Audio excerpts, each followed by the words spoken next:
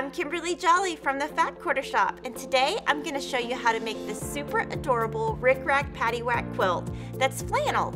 The quilt and the fabric are both designed by Kim Diehl. So let's get started. Cut and label all of your fabrics with your Alphabitties, and today we're working with flannel, so it's a little bit different than cotton. One side is going to stretch more than cotton, and one side's going to be a little bit more taut than cotton. So you're going to use a lot of pins and I'm going to use a longer stitch length than I usually do, somewhere between a 2.2 and a 2.5. And you're going to want to use, on this type of fabric, like a lighter, lighter thread. So I'm using color 2000. So you're going to take your fabric B squares, draw a line from corner to corner with a Frixion pen. Your Frixion pen is going to disappear with heat later, so I like to use that. You're going to place this on one corner of a fabric F square you're going to stitch directly on the line. Now I'm going to use pins all the way throughout this project since it is flannel and it's going to move easier and you really want it to stay in place. You're going to trim a quarter inch away and press towards the outside. You're going to repeat on all four corners and this is going to be your paddywhack unit and you're going to make 18. To make your rows, place three paddywhack units and three fabric A squares. You're going to sew them together with a quarter inch seam and you're going to place about four pins each time just to make sure your fabric stays in place. You're going to make six rows that are identical and the fun thing about this is you're going to flip your rows. So when you're piecing, you just flip them. So it's really easy to make your rows without thinking. Assemble your six rows by alternating them and now we're going to add our rickrack. What I'm going to do is draw with a Frixion pen diagonally across the background fabrics and then I'm going to show you how to attach your rickrack. When you're drawing your lines, you're going to want to put the ruler on each corner and just draw from corner to corner.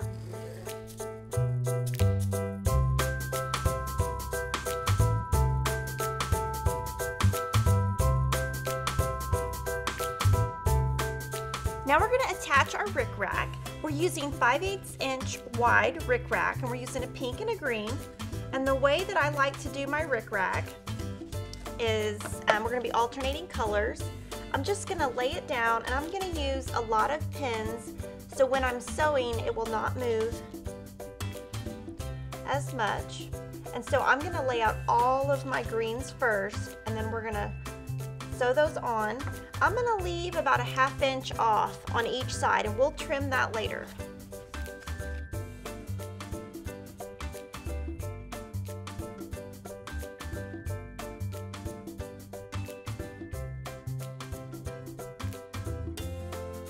We're ready to sew down our green rickrack. I'm going to be using a green thread on the top and the bottom.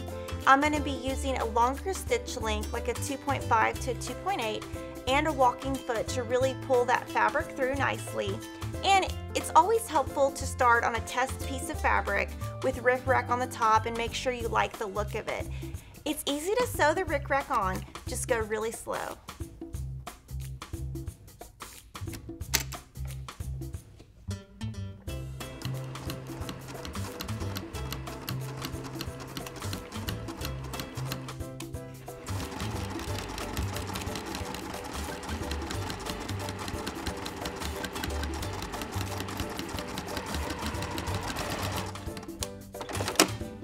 Now that all of the green rick rack is attached, we're gonna go ahead and add our pink and you're just gonna lay it the opposite direction of your green and we're gonna pin it just like we did and we're gonna sew it and we're gonna change out our top thread and our bobbin thread to a matching pink. And because we're using the walking foot, when you go over the double rick racks, it's not even gonna matter. You're just gonna go right through. So let's pin and sew.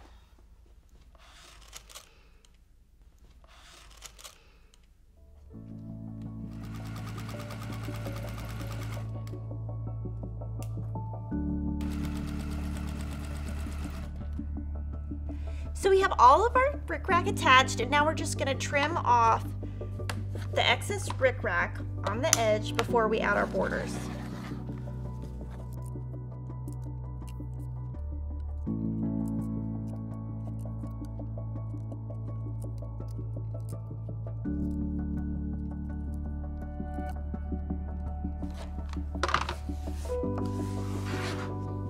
We're halfway done. We've got our quilt top assembled and you're gonna add first your side inner borders and press.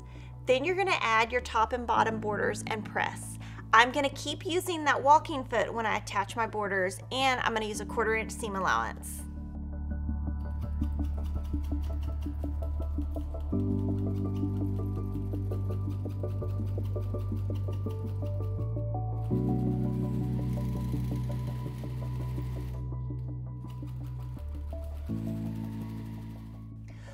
Now we're gonna make our outer border. We're gonna make four corner border units. You're gonna take a fabric C square, put it on one corner of a fabric G square, stitch directly on the line, trim a quarter inch away. You're gonna repeat on the other two corners and you're gonna make four. And you'll have one corner that does not have a fabric C square. We're continuing our outer border. You're gonna take your fabric G squares and add fabric C squares to the top two corners, just like we've been doing, and we're gonna make 52 border units. To make your top and bottom outer borders, you're going to assemble two corner border units and 13 border units. To make your side borders, you're just gonna assemble 13 border units. You're gonna press everything open and if you followed the pressing in our pattern that you can download at Fat Quarter Shop, you're gonna see that all of your seams nest perfectly. To finish your quilt, add your side outer borders and press, and then add your top and bottom borders and press. This quilt is perfect for the little girl or little boy in your life. We have kits in the girl and boy version, and our pattern shows both colorways. If you love this project, make sure to like, comment, and subscribe to our YouTube channel. See you next time.